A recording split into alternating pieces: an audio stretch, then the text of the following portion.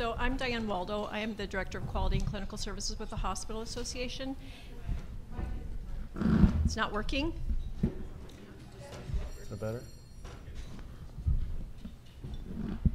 It's on, but I'm not close enough. Better? Better, better? Okay. So I'll stand here with it glued to my face. Just put your hand up if you can't hear. So um, Steve asked for a couple of minutes to hear about what hospitals are doing around readmission data. So I wanted to just let you know um, where we are from that perspective and just really kind of focus on uh, what we know at this point in time.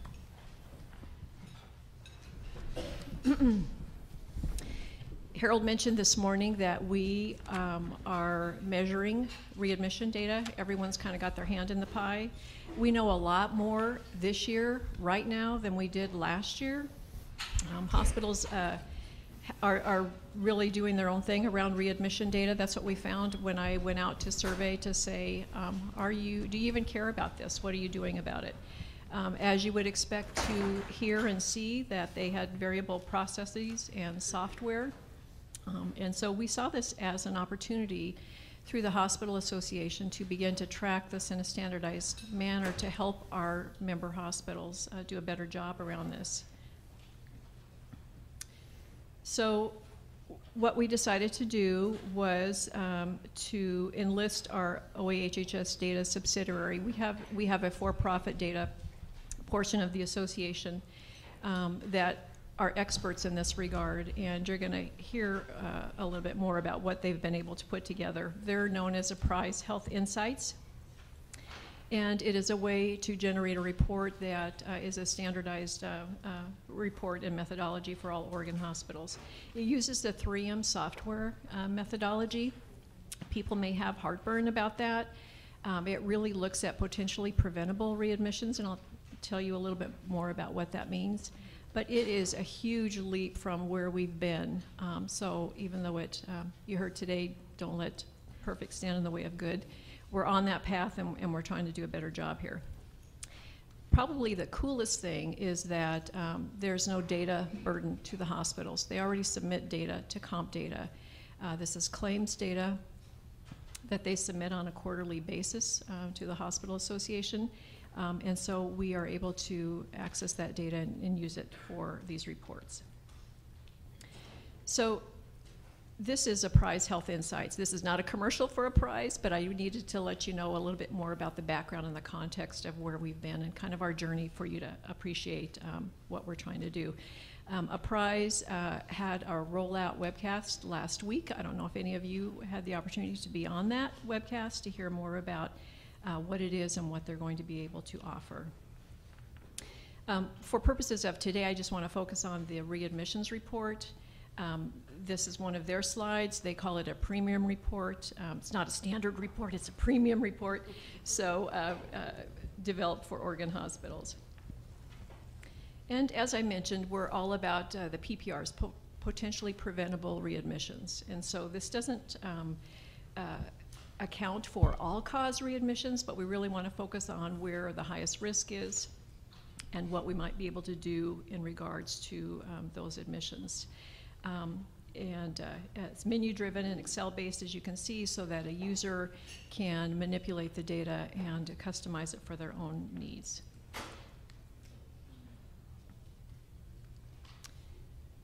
You heard a little bit about this already this morning. We don't need to uh, deliberate this again. Um, hospitals are concerned. They are not the only player in the game around readmissions. However, they're going to be facing penalties uh, about uh, excessive readmissions, according to CMS, um, as uh, the next couple of years go by. And really, the bottom line, a new way of looking at this is a failure in tra appropriate transition. And so um, that is uh, the positive uh, spin on this to see if we can do something about this. So um, potentially preventable readmission, um, a return to the hospital that is related to the care of their original diagnosis. We focused on readmissions within seven days and 30 days.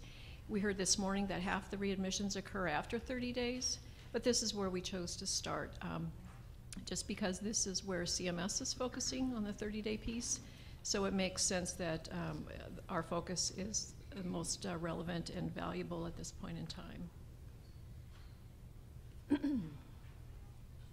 These reports will be able to uh, sort readmissions by uh, the top 25 DRGs for specific hospital, uh, where they came from, their admission source, uh, and where they're going, who's paying for the care, who the physician of record was, um, and uh, all uh, related to service lines. So the benchmarking is limited. This is just focusing on Oregon hospitals, so we can't um, benchmark with other hospitals or uh, states in the nation, but we want to get a handle on what Oregon hospitals are doing. Um, and they can benchmark if they're a critical access hospital against uh, others in their peer group.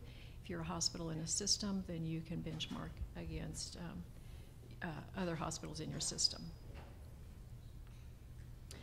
So what about the data then? So with uh, the Apprise readmission report as a backdrop, um, this is what I could get for purposes of today's presentation here. Um, not compared to anything in particular, but just the Oregon story. So we just took two snapshots of time.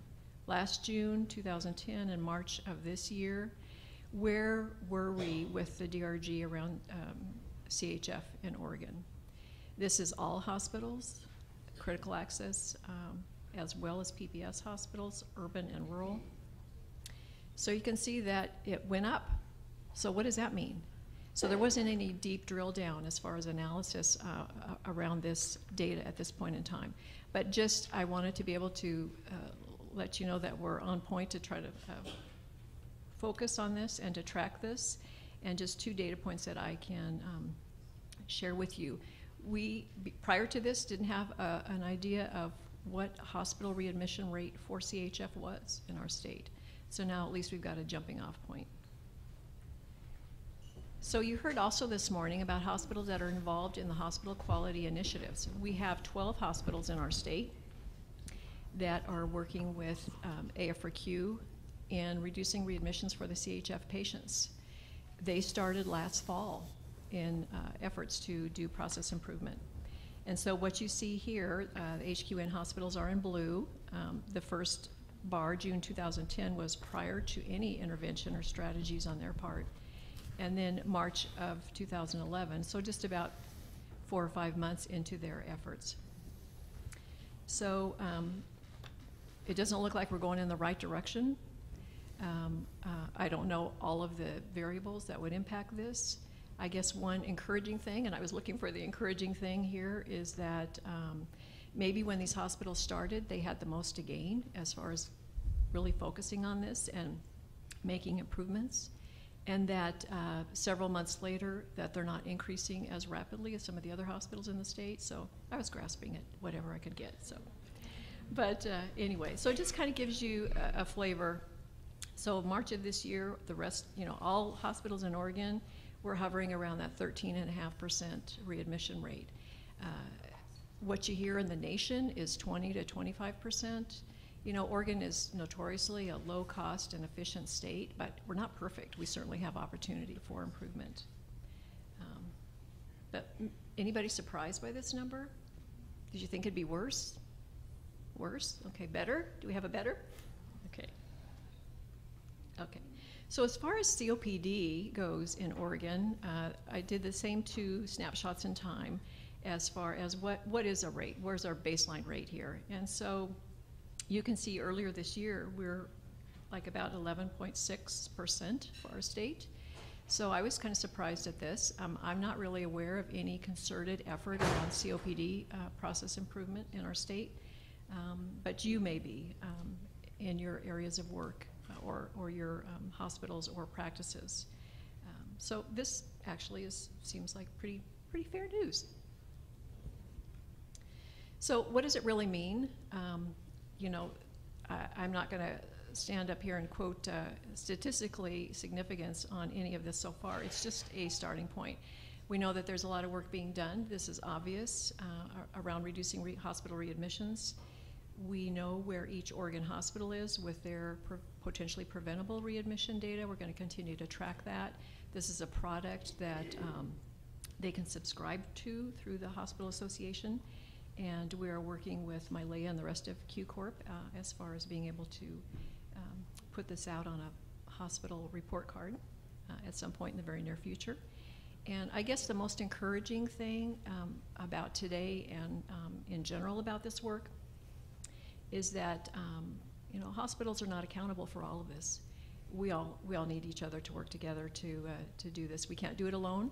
Um, we're one blip on the continuum of care, and uh, we welcome your input and expertise. So, thank you.